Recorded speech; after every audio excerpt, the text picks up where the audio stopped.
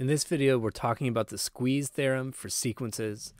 So this stuff tends to look a little bit overwhelming, but all I'm saying here is consider three sequences where the terms of this one, the BN sequence, the terms of that one are always trapped between the terms of the other two. So they're between. The terms of BN are bigger than the terms of AN or possibly equal to it. And the terms of BN are less than or equal to the terms of CN. Well, that means if those two sequences, the one that's the lower bound on B and the one that's the upper bound, if they happen to converge to exactly the same number, that forces B to converge to that number as well.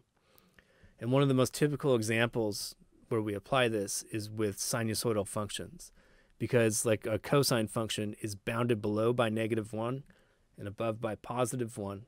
So I want to figure out does this converge? And I would start by saying, well, the cosine function is always bigger than or equal to negative 1, but less than or equal to 1. And then I could easily build this sequence by dividing by n. So I have negative 1 over n is less than or equal to cosine n over n. It's less than or equal to 1 over n. And then I would say, let's look at the limit of that lower bound. And this clearly goes to 0. Let's look at the limit of the upper bound. So the function that's always above or possibly equal to the one that I'm concerned with. As n goes to infinity, that also goes to 0.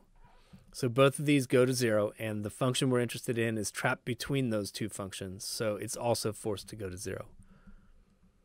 So this implies the limit as n goes to infinity of cosine n over n is also equal to 0, so the sequence converges to 0. The last thing I want to do is just pop in a little picture of what this looks like so we can reinforce the geometric idea of what's happening here. And here it is. I have my upper bound function. Um, f of n is 1, 1 over n, or I could say f of x is 1 over x. I have my lower bound function. You say that's g of x is negative 1 over x. And in between this this green continuous function is cosine x over x. If I evaluate this only at integer values, that's what the red dots are, and those represent the actual numbers in this sequence.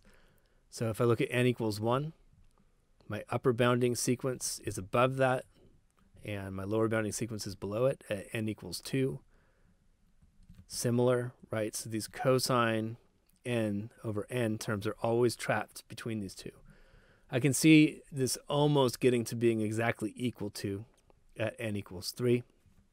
And that's because the cosine value the cosine function is extremely close to its minimum value because 3 is very close to pi, where the cosine is very close to negative 1. So hopefully this helps to communicate the geometry a little bit better. If the points on a sequence are always trapped between the points on two other sequences and those two go down to a finite value, the one in between has no choice but to go to the same finite value.